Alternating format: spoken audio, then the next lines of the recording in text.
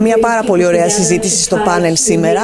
Αν θα ήθελα να δώσω έτσι ένα συμπέρασμα, θα ήθελα να καλέσω περισσότερες γυναίκες να ασχοληθούν με την τεχνητή νοημοσύνη. Υπάρχουν πολύ περισσότερες ευκαιρίες και για επαγγελματική εξέλιξη, για νέες θέσεις εργασίας, αλλά και για να βοηθηθεί η γυναικεία επιχειρηματικότητα ε, και επιπλέον να δουλέψουμε όλοι μαζί με βάση τεχνητή νοημοσύνη να δημιουργήσουμε ένα πιο συμπεριληπτικό κόσμο.